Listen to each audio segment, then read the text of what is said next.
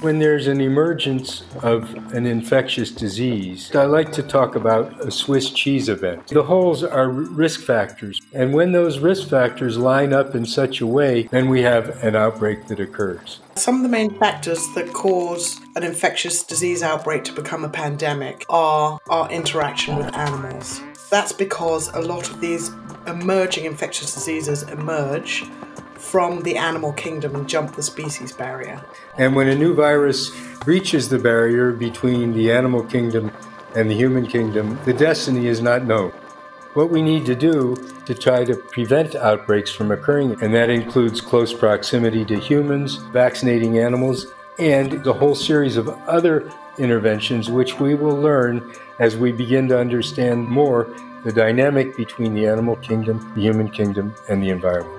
One of the things we could have done differently to prevent the spread of COVID 19 is to have acted faster. That means heeding the WHO's warning. Uh, some countries did that, especially those that had experience with SARS. These countries set up strong detection systems or reinforced the detection systems they already had. And when they found cases of infection which came into their countries, they immediately responded by isolating patients, by identifying their contacts, and making sure that those contacts were self isolated. A good public health system is the first line of defense against a disease turning into a pandemic.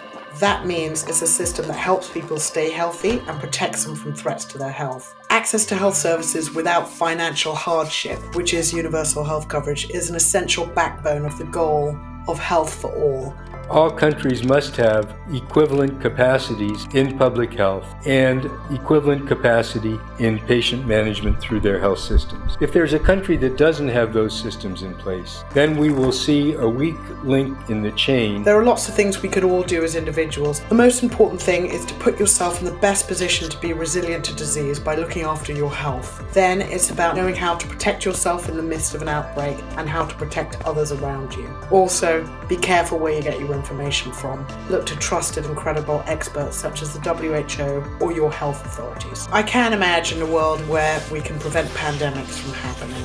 Maybe not all of them, but certainly some. Early action can limit the damage and prevent something reaching pandemic proportions. That entails political will, investment, reducing the risk in our interaction with animals, and fast, decisive response to outbreaks. At the same time, we know that we can strengthen our health systems so that we can better contain outbreaks when they occur. And by preventing disease and by making sure that we're treating patients who are sick properly, we can begin to see a world that's better prepared to deal with these outbreaks when they do occur.